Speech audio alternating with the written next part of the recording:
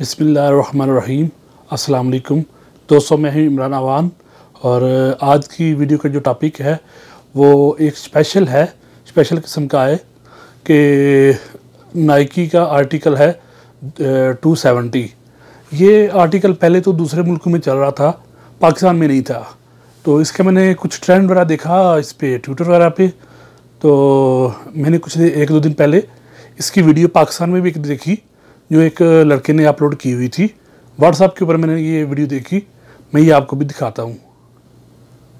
بہت ہی اہم موضوع پر آج میں آپ کے پاس آیا ہوں اور بڑے غور سے اس ویڈیو کو دیکھیے گا اور دیکھنے کے بعد اس کو شیئر کرنا آپ کے ایمان کا تقاضا ہے۔ یہ بل دیکھنے پہلے، یہ ہم نے ایک بوٹ پرچیز کی ہیں نائک سے۔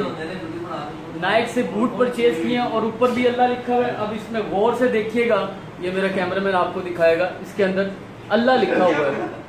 اور اس کے اندر بیک پہ بھی دیکھیں، اگر غور سے دیکھیں گے نا، اگر آپ مسلمان ہیں، اگر آپ کو عربی آتی ہے یا اردو آتی ہے، تو یہ لکھنے کو آپ کو ملے گا۔ یہاں پہ اللہ لکھا ہوا ہے، غور سے دیکھیں۔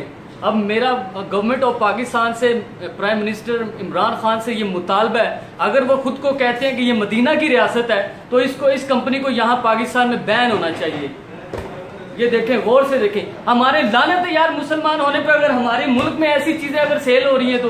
اس ویڈیو کو زیادہ سے زیادہ شیئر کریں۔ تھینک یو سو مچ اللہ جی ہاں دوستو، یہ آپ نے ویڈیو دیکھی۔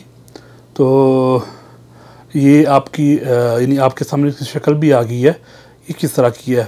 تو میری دوستوں سے ہی گزارش ہے کہ یہ میری ویڈیو جتنی ہو سکتا ہے شیئر کریں تاکہ یہ بات ہر تک پہنچ سکے اور جو لوگ اسپیشلی نائکا، نائکی کی پروڈکٹ خریدتے ہیں، وہ اس کو سٹاپ کریں تاکہ نائکی تک یہ بات جا سکے۔ اور میری گزارش ہے پی ایم پاکستان عمران خان سے کہ وہ اس کا ساتھی سے نوٹس لیں اور اس کمپنی کو پاکستان میں بین کریں تاکہ پاکستان یعنی جو مدینہ ریاست کا انہوں نے نعرہ لگایا وہ پورا ہو۔